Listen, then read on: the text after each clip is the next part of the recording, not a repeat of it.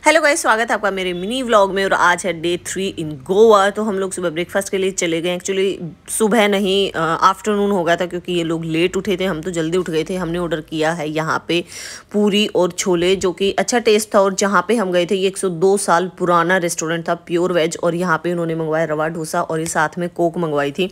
और ये देखिए, हमने सारा चट कर दिया है। और भी ऑर्डर किया था, बाद में इन्होंने अपनी फ़िल्टर वाली कॉफ़ी ऑर्डर करी और बस यहाँ से निकल लिए थे। दिन का टाइम था यार, आज ना काफ़ी ज़्यादा तेज़ धूप थी, उसके बाद सीधा आ गए थे रूम में। हम लोग चाबी साथ में लेके तो क्लीनिंग नहीं हो पाई तो हमने क्लीनिंग वाले को भी बुला लिया। और साथ में बैठ के कोई वीडियो बना रही थी, उसका डिस्कशन ही चल रहा था और यहाँ पे मेरा जो है नील पेंट बिल्कुल हट गया था क्योंकि मैं नील एक्सटेंशन नहीं करवा के कंफर्टेबल नहीं लग रहा था तो मैंने दोबारा से नील पेंट लगा लिया है। और यहाँ पर मेरी दवाई का टाइम हो गया था तो मैंने अपनी जो आयरन वाली दवाई है वो ले ली है और बस उसके बाद फिर हम लोग रेडी हो गए यानी कि नहाए तो नहीं, वैसे ही क्योंकि बीच पे जाके भी वैसा ही हो जाना है तो आज हम लोग नहाए नहीं, बिना नहाए निकल लिए हैं। और ये देखिए रास्ता देखे यहाँ का गाइज़ कितना प्यारा है। आज हम थोड़ा दूर वाले बीच पे जा रहे हैं, मिरोजिम बीच पे। ये देखे यहाँ की वाइब एक्चुअली इसको रशियन बीच भी बोलते हैं। इस पे ज़्यादातर यानी कि 95 परसेंट आपको रशियन ही रशियन देखने को मिलेंगे। मतलब इंडियन तो बिल्कुल ही कम। बाकी और पे दूसरे फॉरनर्स भी होते हैं बट इस वाले पे स्पेशली रशियन ही होते हैं। और काफ़ी कॉस्टली भी था ये। उसके बाद हमारे पास, हमारे साथ कोई इंसिडेंस हो गया था बहुत ज़्यादा परेशान थी तो वापसी आ गए थे गाड़ी में, आके थोड़ा रेस्ट किया कपड़े वपड़े चेंज करे और बहुत भूख लग गई थी, दिन में भी आज लंच नहीं किया।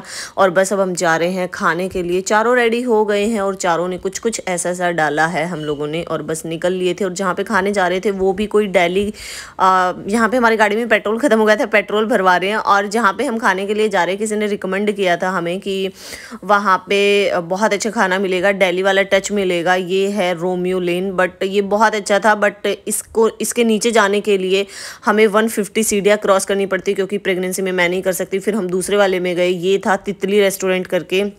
यहाँ पे गए, यहाँ पे हम गए, अंदर बैठे।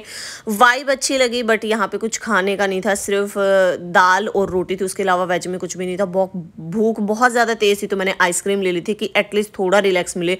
वहाँ से फिर आधे घंटे बाद हम ट्रैवल करके आए और फाइनली हम लोग अपने कान्हा पे ही पहुँच गए कान्हा वेज रेस्टोरेंट पर यहाँ पर थोड़ा देसी सा मिलता और थोड़ा ना नॉर्मल सा मिलता, ना ज़्यादा स्पाइसी ना वैसा तो हमने सोचा फाइनली यहीं खा लेते आज बहुत कट चुका था दिन में भी। सारा चट कर दिया है हम लोगों ने और बस उसके बाद हम लोग आ गए थे घर पे। और मेरी दवाई का टाइम हो गया था तो मैं दवाई ले रही थी, वहीं अपने पानी के साथ दूध मुझे अच्छा नहीं लगता है। तो यहाँ पे हम डिस्कशन कर रहे हैं कि हमारे गाने का जो है पोस्टर रिलीज़ हो गया है सेकंड गाने का।